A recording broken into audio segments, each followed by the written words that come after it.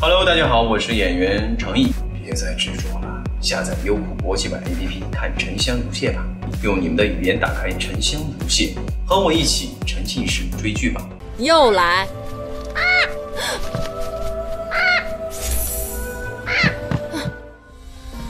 来吧，我与你比试。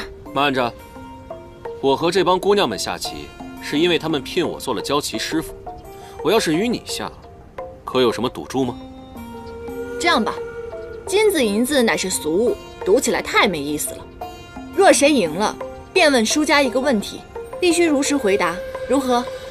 成交。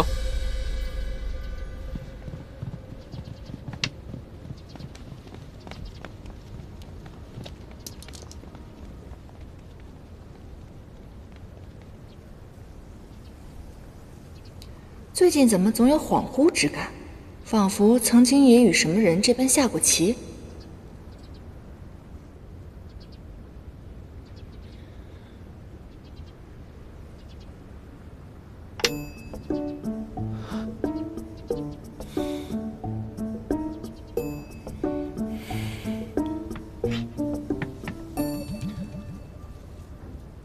啊。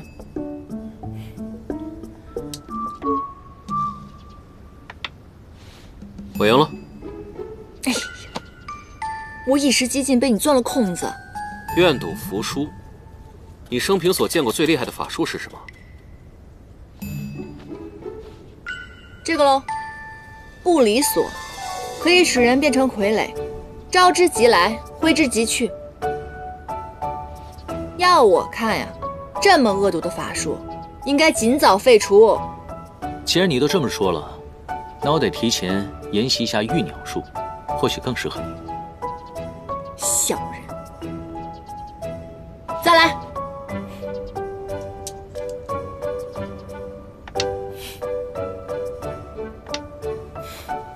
我赢了，该我问你了。这柳公子一看就是富家公子，那你为何不归家，常年住在这饥荒房中？家中的规矩繁琐，不如这里肆意快活，自然就不愿意回去。那你家在何处？你到底是做什么的？想知道的话，再赢我一把。来。嗯。师从游侠，最善驯鸟，心无大志，随缘度日。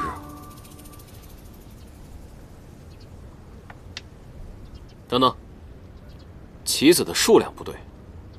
你赢我一子，棋盘上有一百八十子，那么也就是说，我的棋路里应该还剩一枚白子。但你看，现在它不见了。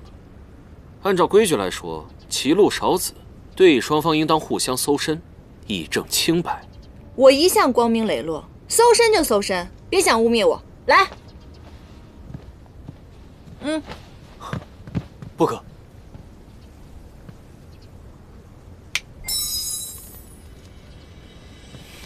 不是吧？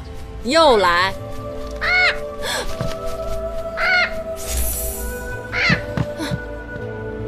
还真没想到啊，原来严兄是女儿身。但是即便如此，便不让搜身的话，怕是有出千之嫌。按照规矩，在尽欢房出千，剁手。尽欢房是你家开的，说剁手就剁手啊？从来就没听过这种规矩，你再说一遍。